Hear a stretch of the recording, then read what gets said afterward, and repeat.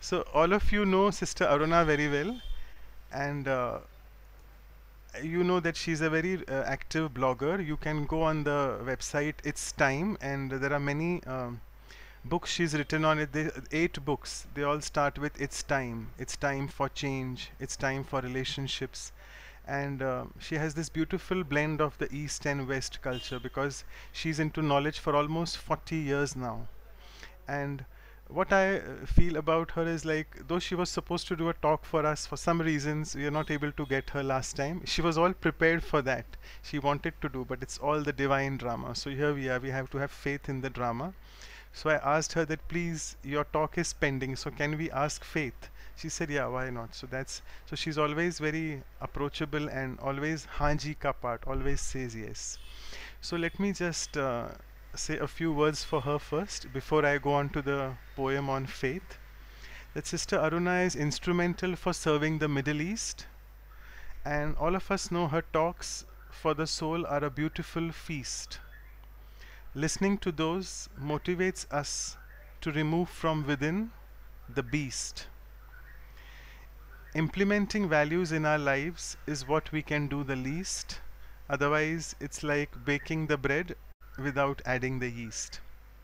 So let me come to a few lines on faith. It's a beautiful virtue because I feel uh, when we did the spiritual revisions on Murlis, there were so many uh, Murlis is the spiritual versions which we have here in Brahma Kumaris.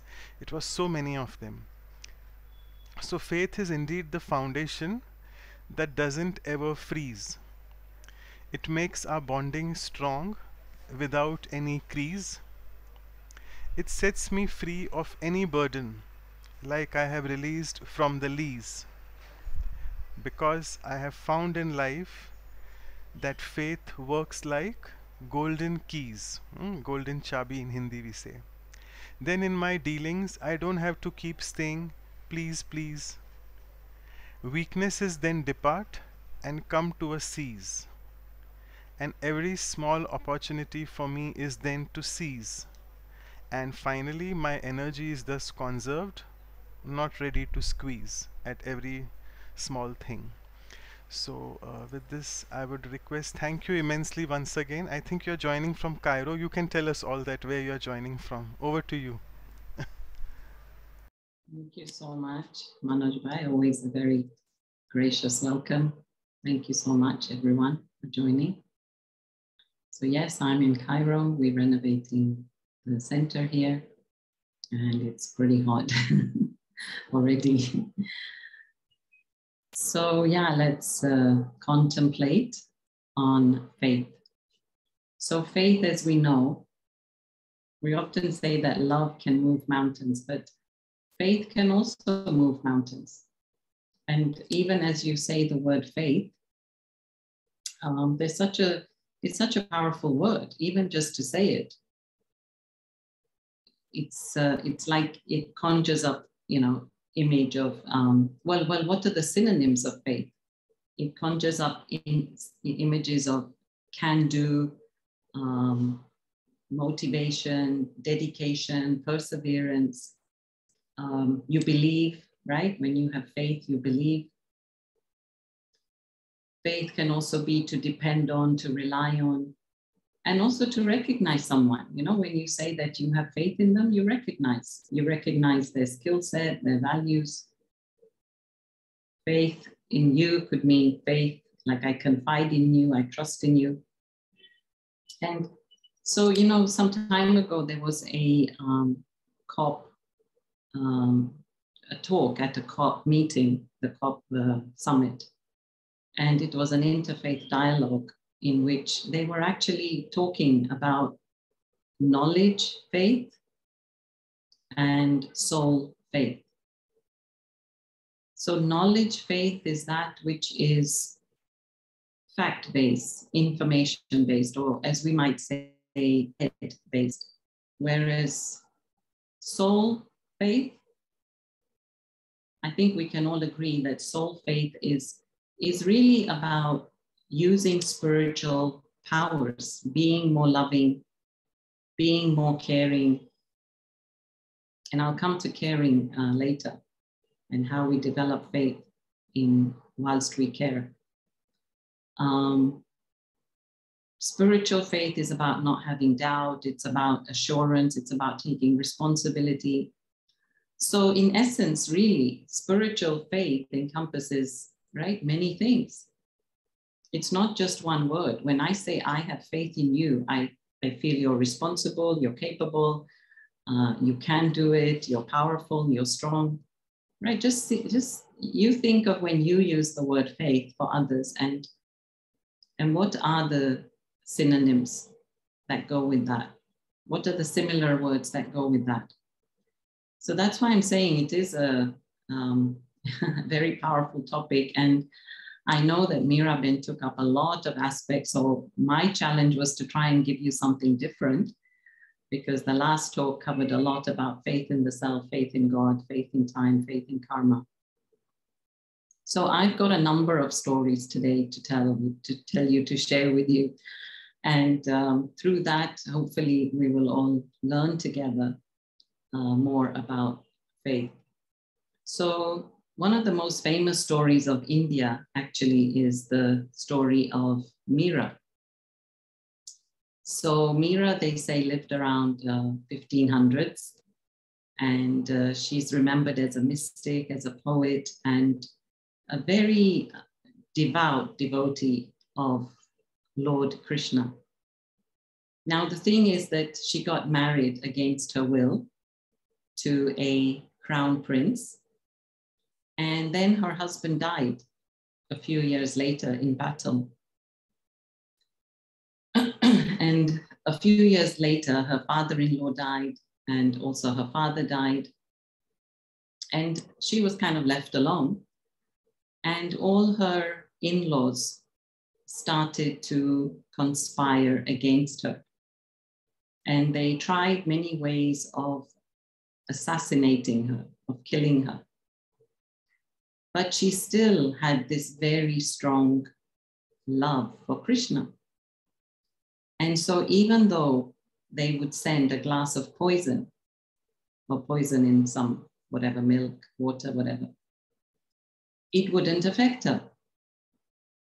And even though they would send her a snake in a basket, but that snake would turn into a garland of flowers. So again, it wouldn't affect. So nothing harmed her because they say that because she was so in love with God that she had this protection of God, God's hand. So one is the faith, one is the belief that really he will protect, and, and he really did. And the similar story is again from Bharat, from India, of uh, the Pandavas and the Kauravas and the big Mahabharat war. So, anyway, the whole Mahabharat is very big. we won't get into that, but just the essence. The essence is that the Pandavas had only Krishna by their side. And Krishna also vowed not to pick up a, a weapon. He said, I will not kill anyone, but I will be there, I will guide you, and I will even drive your chariot, he said to Arjun, one of the Pandavas.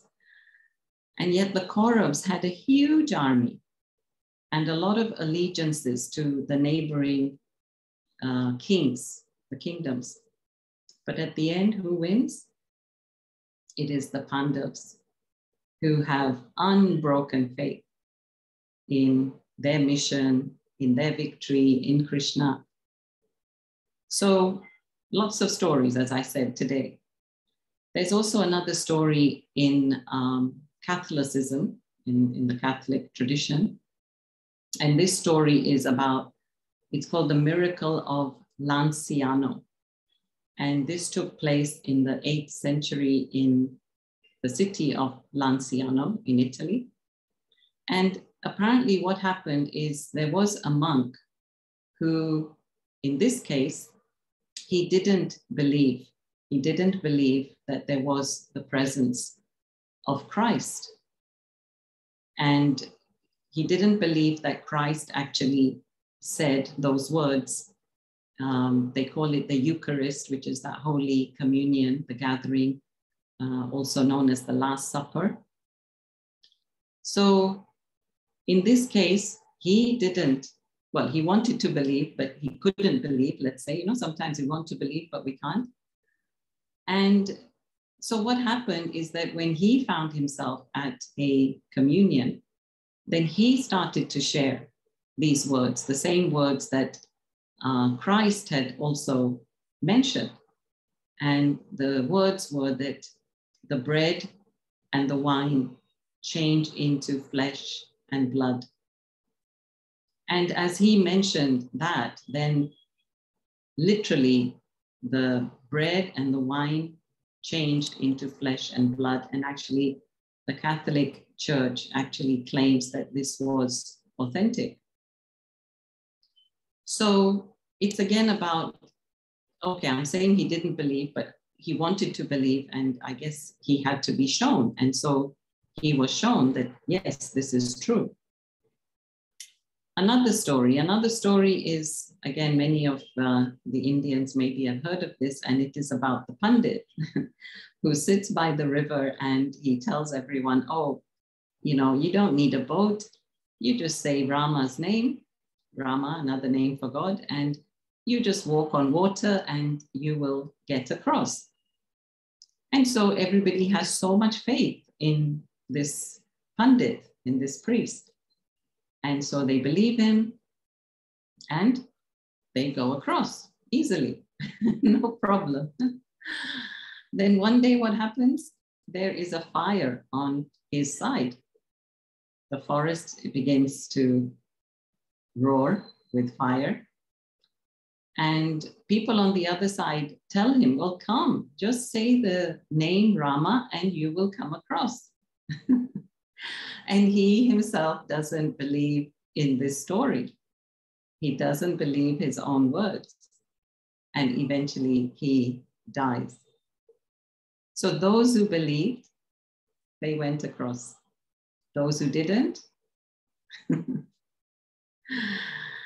and then I'm sure you all know this story, but again, it's always very nice to be reminded. And the story is that there were these villagers who had decided to pray for rain. And so they decided to all come together and pray together. But what did the little boy do? The little boy brought an umbrella. because he he felt that yeah i'm going to pray and it's going to rain and i'm going to need the umbrella so how many of us live with this conviction that when we really believe it, it really works and and god will provide and i'm going to come to some of my personal stories okay next story story is about a sculpture uh, a sculptor, a sculptor. So he actually did sculpting. But what happened is slowly in this village, this art started to die. And many of the sculptors, they moved and they told him also, pack up your business and, you know, forget about it.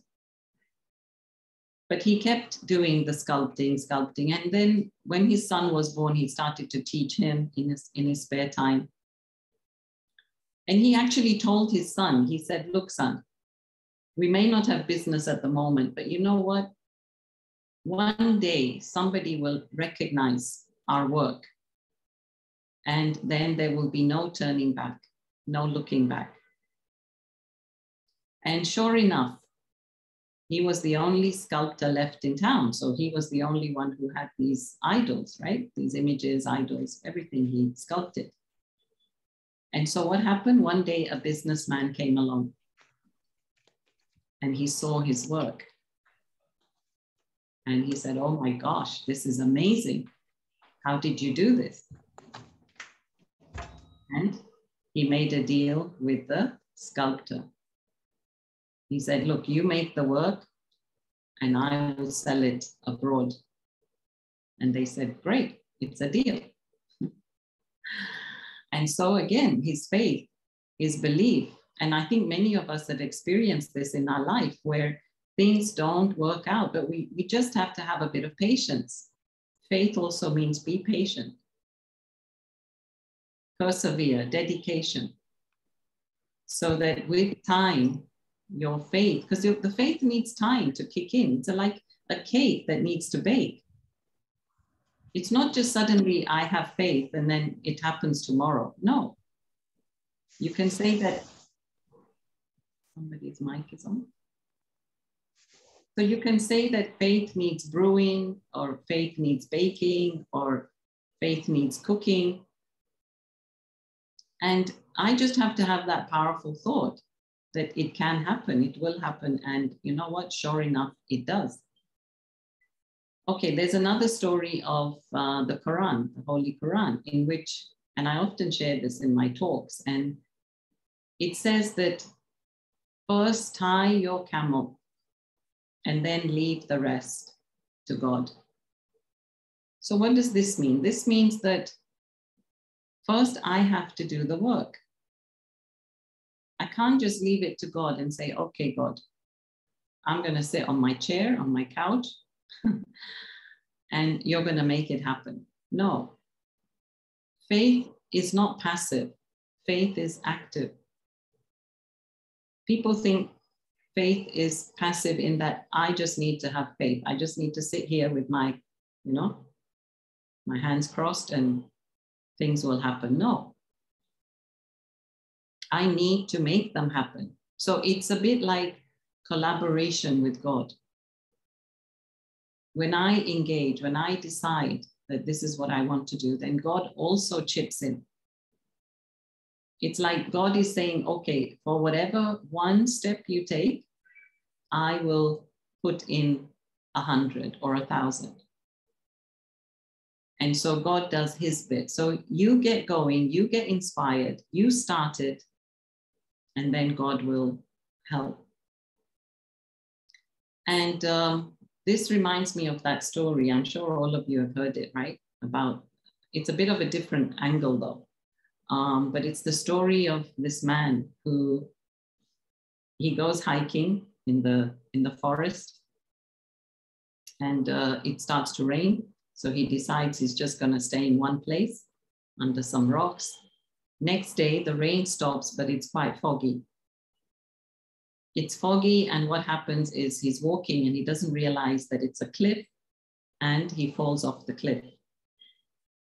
And as he falls off the cliff he happens to hold on to some branch. So, yeah, he shouts to God and he says, God, help me, help me. And what does God say? There's a voice from the ether, and the voice says, Okay, let go of the branch. And he says, No, no, how, how can I trust you? He said, Well, if you don't let go, you'll never know. he said, Just let go of the branch.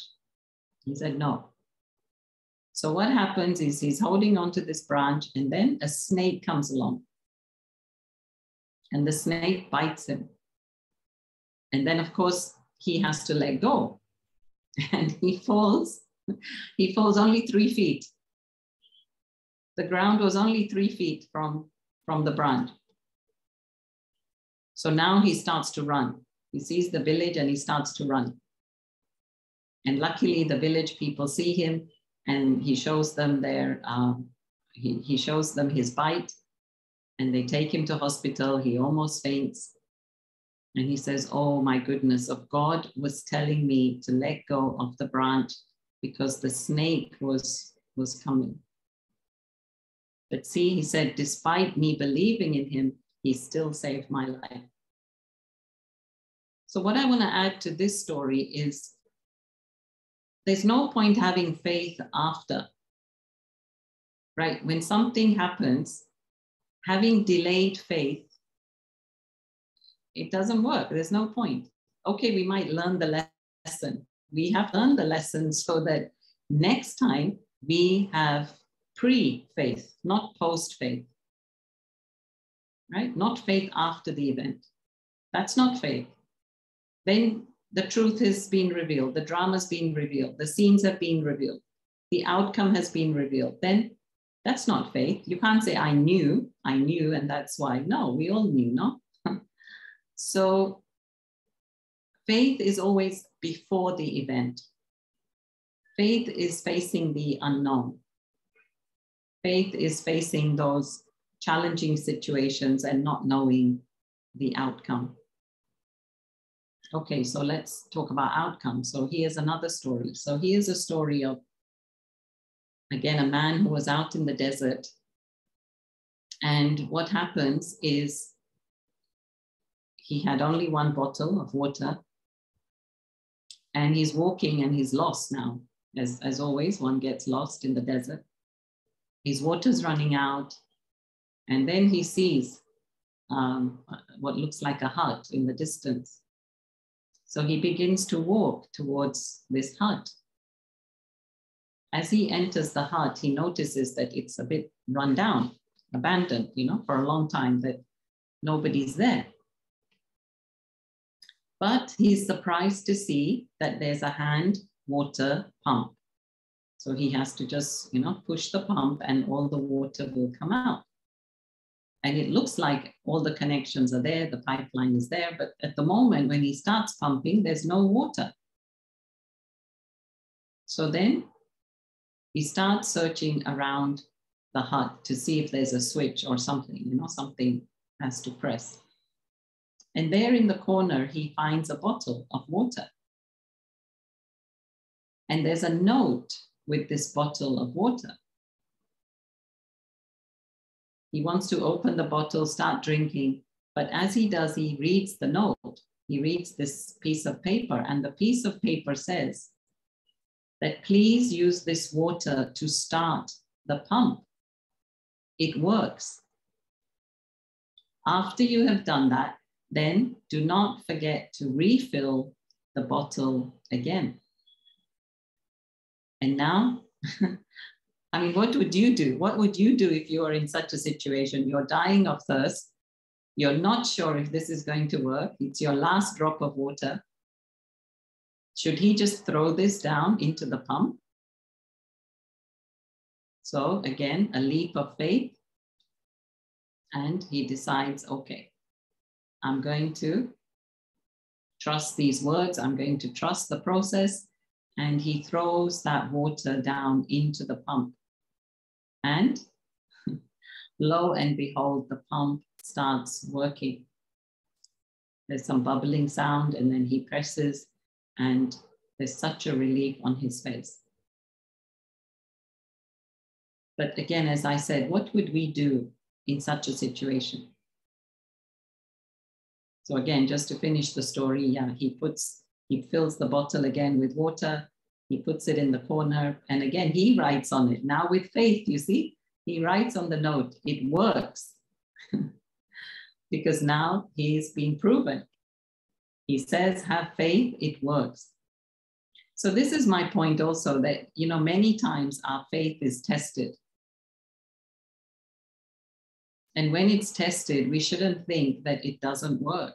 We shouldn't think that I mean, let's say opposite of faith is doubt. We shouldn't doubt. Because if we doubt, that's not faith. Actually, another question that often comes up when I give such talks is is it full faith or is it a percentage of the faith? If you have 10% faith, is it faith? Or do you need to have full faith? anyway, I leave you with that. Um, okay, so I want to come now to a bit of modern day um, publication. And uh, so many of you must have heard of Simon Sinek. And Simon writes in his book, it's in the chapter of courage to do the right thing. So Simon shares this story, okay? and then I'll tell you the moral. I'll tell you the story first. So Simon shares in, in this story that um, there was a plane that was going flying to Florida, so it's in the United States, and it had 126 people on it. Okay. And what happens is that there is fire in the cockpit. And of course, the pilot now starts to talk to the air traffic controller, the nearest air traffic controller. And he sends him a message and he says, I need to land the plane in an emergency. And of course, he has to because there's smoke, he may not see the dials, he may not be able to operate the plane. Now, the thing is that there is a, a, a, rule about planes flying in the sky. And I didn't know this, but Simon explains that there cannot be a plane uh, 1,000 uh, meters above, 1,000 meters below, and in a radius of 500 miles. So each plane has to fly kind of, you know, a bit far apart. And uh, to make matters worse, what happened that day is the military were exercising their planes. And so there were additional two planes. So there's another plane, passenger plane, this plane that's, you know, uh, got smoke and two other planes. But what the air traffic controller did that day, because he was experienced, is he told this plane that, okay, descend, descend 5,000 meters. So he was actually breaking the law. And this pilot descended, and then he informed all the other uh, people that were flying their planes. He told them, look, this is what's happening. There's another plane that's going to descend, that's going to be in your zone, right? And he was able to descend the plane easily, saving those um, 126 people. And so the moral of the story is we may know what's the right thing to do, but sometimes we also have to follow our intuition. And what Simon says, which is very interesting, is he says that we put people there in these positions so that we can trust the people. We cannot always trust technology. So, one point I want to make is when we have faith, it's to do with people. You wouldn't say, I have faith in my computer, I have faith in my mobile, I have faith in my printer, right? You wouldn't use the word faith for, for those things. You would have faith referring to people. Why? Because we trust or we have faith that the person will do the right thing at the right time, even if it means breaking the law. Because people have a heart, people have a soul. The, the computer, the technology, the, the aeroplane dial, it doesn't have a heart. It will only do what it's programmed to do. So in, in this story, again, what we are saying is we have to actively trust others. In fact, we do, right? When we when we fly, we have to trust the pilot. We have to trust the plane. We have to trust the people that um, engineer the plane or, or, or have looked at all the, you know, the workings of the plane to make sure that it's it can run. And we, we trust the air traffic controller that they will tell him to fly at the right time or to descend at the right time. So every step of the way, there is trust in everything we do. In fact, in Hindi, we say, no, umid pe tiki dunya, umid pe tiki hai, uh, which means that the world runs on hope that yes, everything will go as we say, everything will go as per se, let's say. So this brings me actually onto the topic of, of God. As I said, we trust um, people, but we also, more than people, we have faith in God. Because somewhere deep down inside, we know that God cares. We will only trust those people who we feel care for us. And so we know deep down that God cares for us. We like we don't we don't have faith in uh, Satan.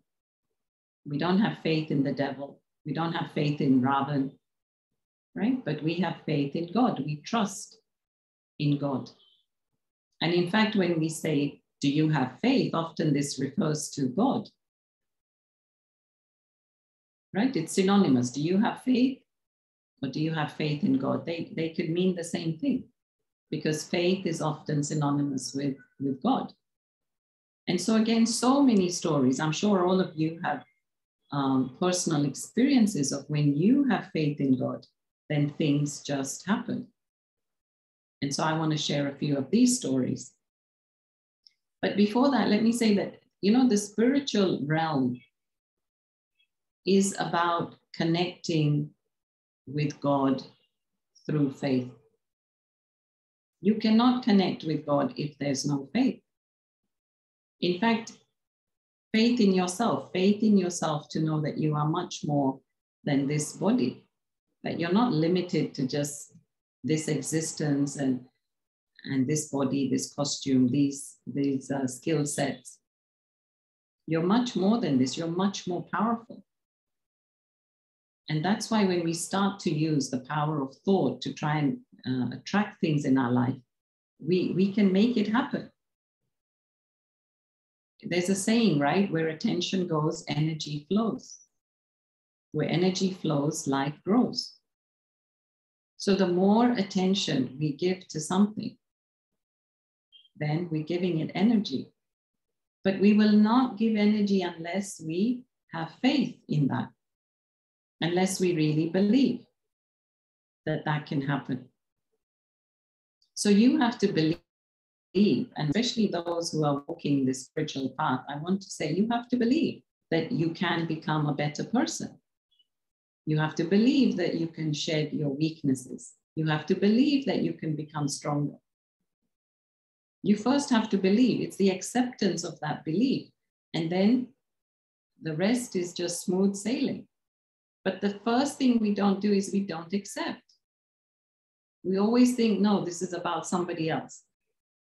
Somebody else can be the Olympic winner, or somebody else can, um, whatever, can win that race or competition, or somebody else will get the promotion. But we don't believe that it can be me. And so, this is where I would say faith is about self respect.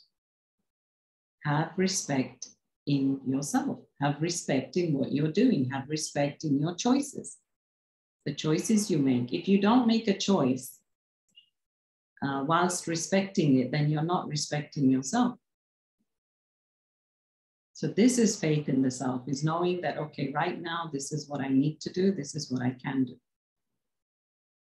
So yeah, I want to share a few stories now of the, of the founder of the Brahma Kumaris, Brahma Baba. And so back in the you know 50s and 60s they went through a bit of a, a difficult patch where all his money had run out and um, they didn't have much means to run on. And so the senior sisters that we have they shared with us many stories of that time. And particularly stories of faith. So can you imagine there are about 250 to 300 people living in a campus and nobody knows what there's going to be for breakfast because there's nothing, nothing in the kitchen. There's no vegetables, there's no rice, there's no flour. Everything has been used up. And in a way, it is this Brahma Baba who is responsible because everybody is relying on him. to make the decisions. But he is he's so carefree. So the cook comes to him in the morning and says, Okay, what shall we make? And he makes up a plan. He says, Okay, we are going to go for a long walk. They're going to get extra exercise. And he takes all of them on a long walk through the forest and what do they eat? They eat the berries from the tree. They eat the fruits that are growing there around them. And by the time they come back, there is a check that has come in the 11 o'clock post. And so Baba sends uh, the senior brother, Vishwakishore Bhau, and he says, okay, go cash this and bring some things from the market. And yet none of the, you know, youngsters, young adults, none of them knew that there was a problem.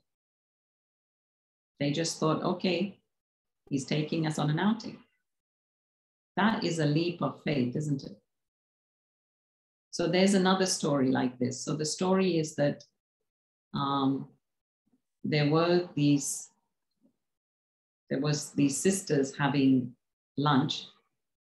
And at that time, of course, they all kind of ate in the same hall.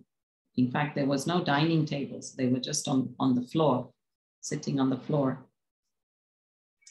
And so what happened is uh, Baba is there, the senior sisters are there. And in the distance, Baba could see that the one serving the soup, the lentil, she was telling everyone, don't come again, huh? Don't come again.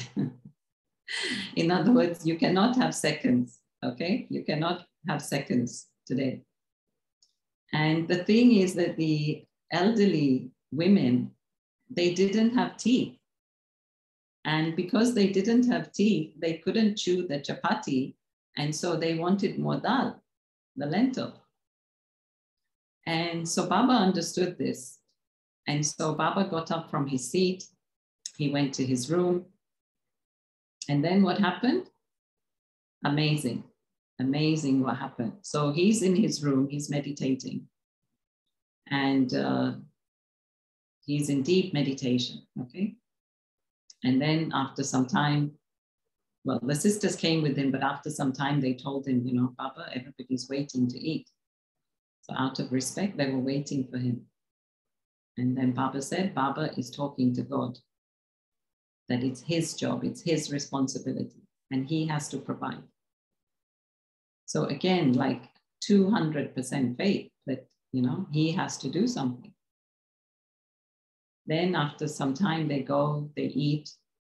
And just within an hour, there is a, a bullock cart that is coming up the, the hill towards them.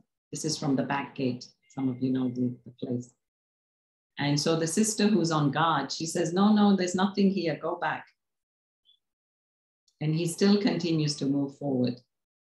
And she says, There's nothing here. What have you come to drop? We, we haven't ordered anything. He said, No, no, I have to drop this off here. And uh, she says, What is it? And he says, It's lentil. And he had bags of lentil in his bullock cart. So the sister goes running to Baba and says, There's a man here to drop some lentil. And Baba says, Okay, feed him some lunch and then I'll speak to him. So then after lunch, Baba asks him, What's the story? And he says, Well, I don't know. I was taking this bullock cart to the market. I have to sell these lentils. But something told me from inside that I have to drop them here. And so here I am. These are all for you. And of course, everybody was stunned that, you know, God, I mean, we will never know, right? But we believe that it's God's intervention and he's inspired somebody to help them out. There's another story where, again, Brahma Baba wanted to feed everyone jalebi. You know, jalebi is this round, round. There's a similar Arabic dish actually. It's like fried and then dipped in syrup and and there was no material to make jalebi. Jalebi is made on special occasions. And so Baba said in the morning, I will feed, feed everyone jalebi later at lunch. And everybody said, but there's nothing to make it with. And then sure enough, by 11, 12 o'clock, the ingredients come, they make the jalebi and everybody eats it. There's also, I want to share stories of Dadi Janki. Dadi Janki who lived to 104 and she was the head of the Brahma Kumaris in, in recent years. And I had the fortune of living with her. And Dadi Janki I remember when we were building Global Cooperation House, and they told us initially the project was about 2 million pounds, and we didn't have the money. I don't even think we had a 100,000. But also, everybody advised us knock down that building, build again. So when you do that, you have to really dig the earth, make the foundation. There's a lot more money, right? So there was more money needed that, than they thought. And so every time that he had to pay the check, somehow that money was in the bank account. And I saw this with my own eyes. I wasn't with Brahma Baba, I didn't live with him, but I lived with Dadi Janki and I was there working in the office. So I remember these scenes. There's just enough money to pay the check to the, to the construction company. I think it was like every three months we had to give them a check. And this is how Global Cooperation House got built. And many of you have seen that. And, and then thereafter, Diamond House. So I want to say that really, when we trust, when we believe, it's a very positive energy. It's a positive state of mind. Just think when you don't believe. What is the state of mind when you don't believe? Then you're so negative. But just believe so I want to come to Dadi's relationship with me, actually. She, she actually believed in me. I didn't believe in myself. I didn't believe that I could write. I didn't believe that I could travel, that I could speak in front of people. I, I didn't, honestly, I was quite happy with a quiet life, comfortable life. But she kept encouraging, she kept pushing, she kept you know, nudging, insisting. And uh, she would just tell you suddenly, okay, go there, okay, do this. In fact, I phoned her once when I was living in Istanbul. And uh, I just phoned, I used to phone her every now and then. And that day I said, well, you know, that there's not much going on. I'm getting a bit bored. And she said to me, why don't you write? I said, write what? she said, write articles send them to magazines. I said, okay. And um, yeah, I thought about it. And then I did, I started. So she really planted that thought of, you know, I mean, I still don't think I'm a writer. But, you know, I do it because I enjoy the journey, I enjoy expressing my ideas. And then you become a writer you know so many things like this it's not that we aim to set out to do certain things but just by believing just by having faith it happens and this is where i want to come to karma i know it's been spoken about but i do believe that we have to we have to trust our karma and i had a kind of an epiphany this morning at um, epiphany uh, around early morning meditation today. And really, from my experience also, I realized that the only time that we are not fearful is when we have done good karma. If there's any negative karma that we have done, if we have given the slightest sorrow to anyone, then yes, there will be fear. But if I know that my heart is clean, my mind is clean, and I'm having the best thoughts I possibly can, then you can really have faith in your in your karma. Then there's no need to fear. Fear comes because of guilt. But if there's no sin, there's no guilt. So have faith in your karma and at every step you know just try to do the best just just try to choose the best we can all be nicer people we can all be kinder people we can all be more loving we can always be more extra of, of that than we are And really, we know karma boomerangs back. So we will get back, right? Whatever we send out. So trust that God is on your side, trust that God is looking after you. And so I end with the story, and then, yes, we can have a meditation. So I'm sure many of you have heard the story of the footprints. So the story of the footprints is that there was a person who was walking through his life. And um, what happened is when he died, he was shown the screen of his life. And he noticed that when he was going through the most difficult periods, that God had abandoned him because he only saw one set of footprints.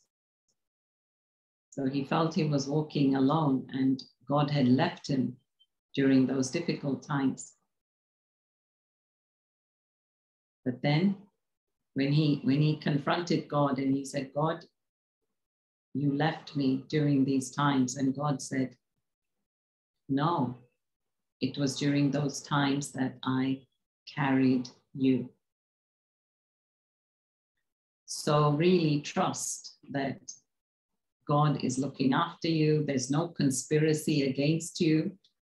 You know, drama, drama means the life events, situation. Nothing is there to get to you. Everybody's trying to help you have a good life. Everybody's to make you happier. Just trust in this process. And then you don't create enemies. You only create friends. So Om Shanti and uh, I don't know, you want me to do a meditation or take questions? I'm not sure. Yeah, uh, thank you so much. Actually, I don't think there are many questions because I'm amazed by your potential to tell us so many stories. Wow, that's really great. and uh, I can't see any questions in the chat box. But I just wanted a question from, uh, I mean, uh, though we covered it in our Q&A, what is the difference you would say between faith and trust? Or it's almost the same thing? Yeah, I think it's almost the same thing. Um. That, like I said, I think when we say faith, it, it's more uh, really with the heart, and trust is with the head. Like you, we trust. It's like you need some facts and figures, you know. Mm-hmm. I trust, like I see your skill set and I trust that you can do it. But with faith, it's more intuition. It's not, you don't need the facts and figures or statistics. So this is where I see the slight difference. But yeah, I mean, they are used interchangeably, right? Yeah. Yeah. Sure. Uh, so I would just request uh, Sister Claudia to propose the vote of thanks. We don't have Dr. Ashok Mehta today for some reason. He's in Mount Abu actually still. So over to you, Claudia, sister. Yeah.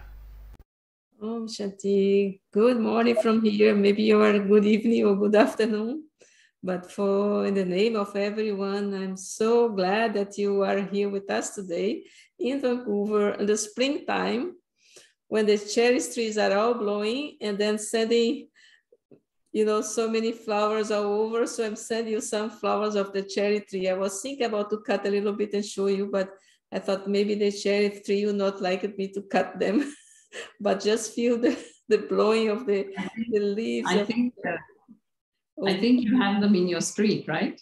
You have them in, in your, the cherry blossoms are growing in your street, right? Uh, no, but I was planning to do. Maybe that's what you see. This one here is not a cherry tree, no? Okay. Yeah.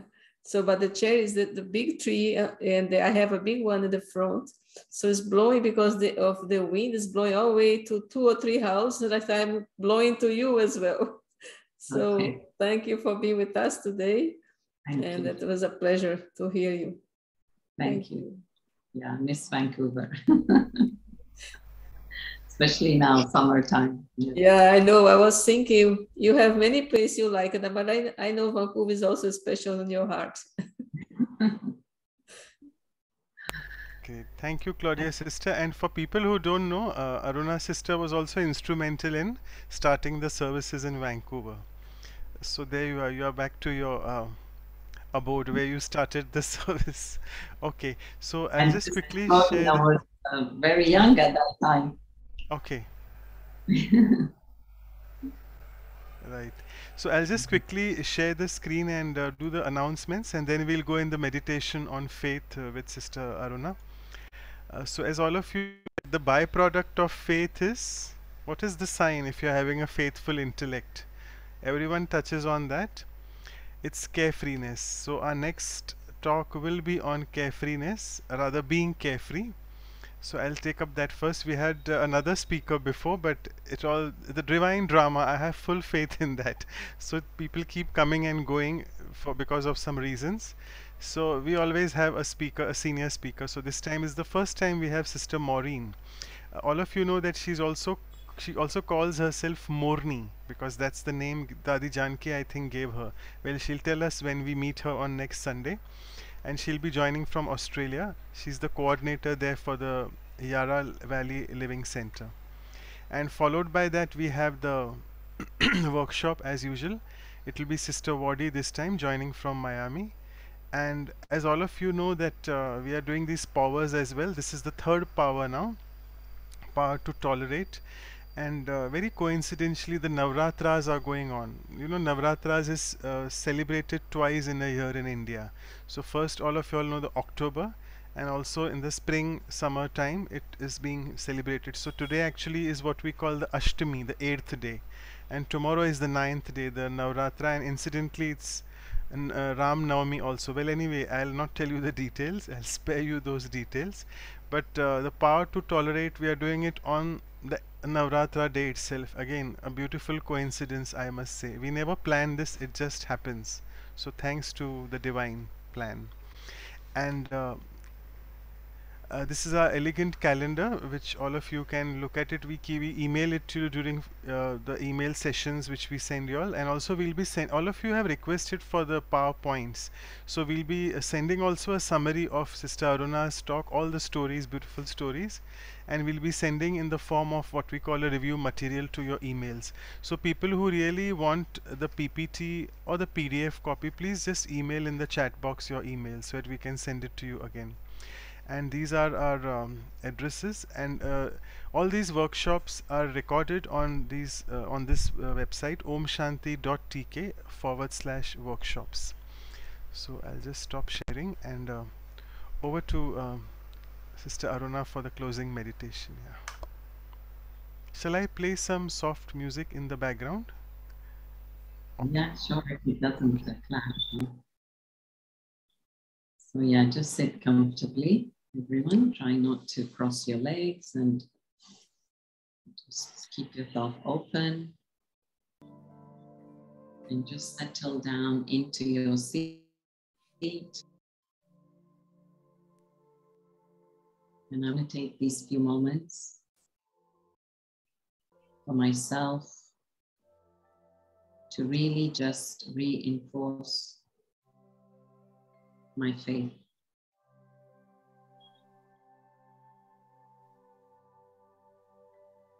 So let us start with the self.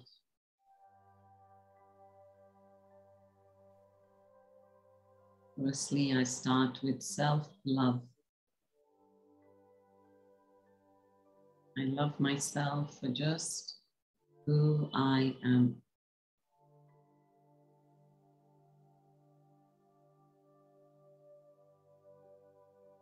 For my strengths and my weaknesses.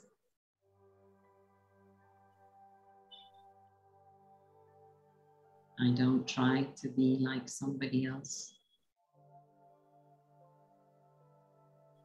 I don't compare. I just focus on myself.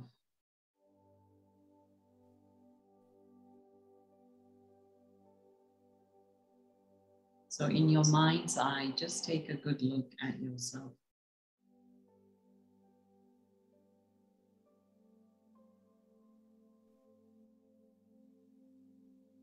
Take a look at the quality of your thoughts.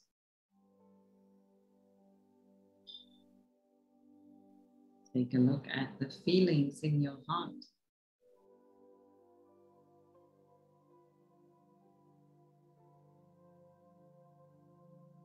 And take a look at your divine actions.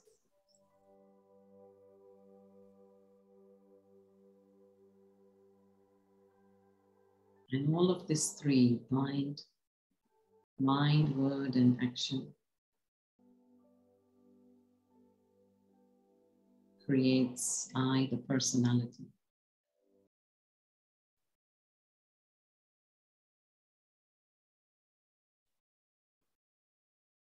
So I choose to create the best thoughts, positive thoughts, powerful thoughts. I choose to only speak sweet words. Just say this to yourself. Just repeat after me quietly. And I choose to have powerful thoughts, sweet words, and divine actions, uplifting actions.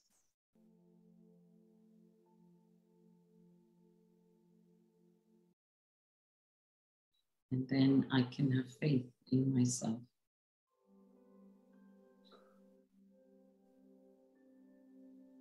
So just visualize in your mind's eye this very positive, powerful being that is now you spreading this light.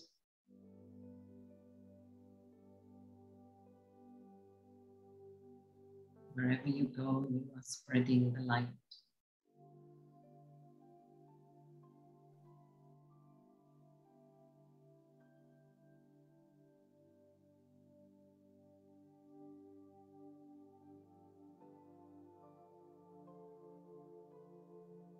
And when people see your light, they will begin to have faith in you.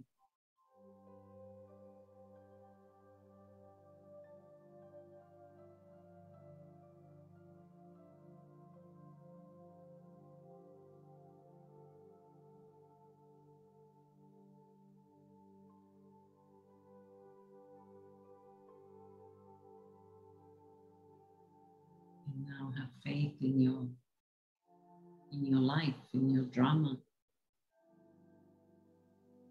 Have faith in the orbit of your life, which means all those that are around you. Everyone is placed perfectly in your life.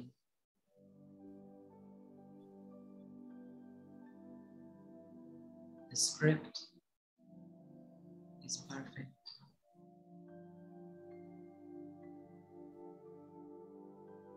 And I'm learning and I'm growing, I'm expanding, I'm becoming stronger.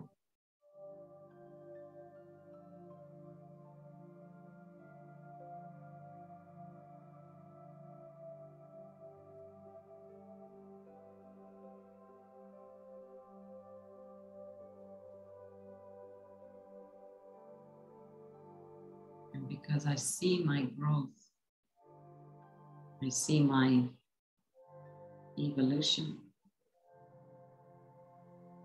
I have faith in my drama.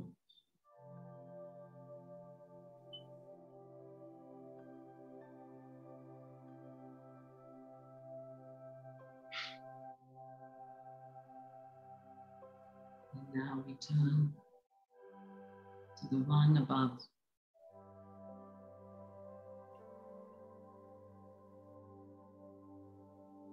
We have faith in him, in her,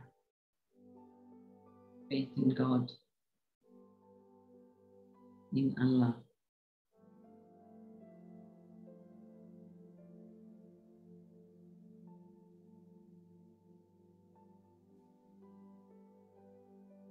And I can feel that shower of light,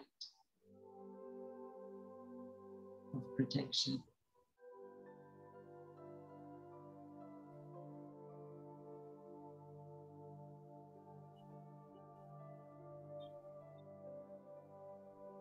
Just visualize this fountain of light falling on you.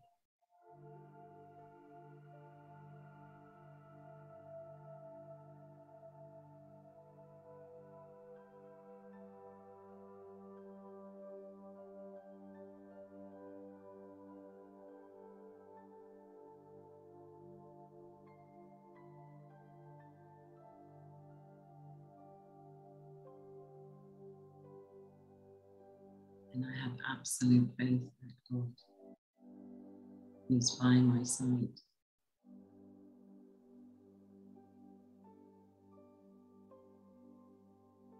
Guiding me.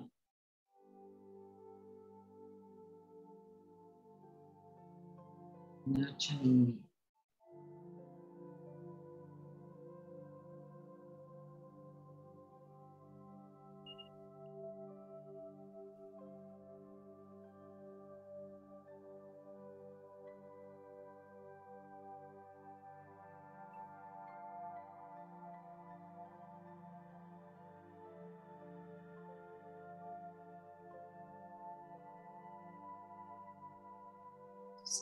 This peace and calm. Fill yourself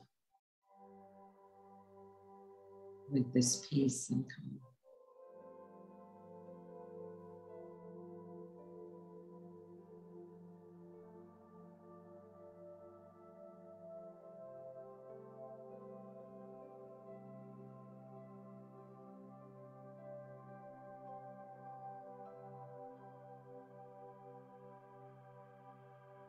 Shanti. Om means I am, and Shanti means at peace. I am at peace.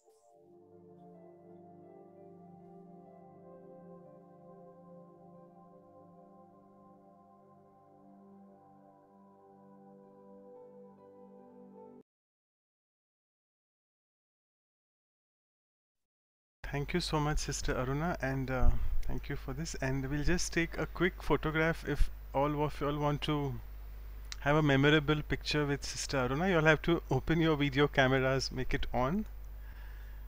For the photo, all of you, you all do that. Otherwise, you're all silent. okay, Anu, sister, over to you. Yeah. We can't hear you. Yeah, okay, now it's Okay, so whoever wants to be in the picture, please switch on your video. And if you have any discomfort, hesitation, please don't switch on your video. We just wanted to mention that. So if you're switching on your video, you are willing to be in the picture. So I can see mostly everyone. So thank you. Let me take it. One more, the second page. Thank you. And we have a third page. I got the picture. Thank you, Sister Aruna. Thank you, everyone. Thank you so much. Yeah, thank you so much. Thank you, Manoj Bhai. Thank you. Thanks a lot. Thanks, Baba.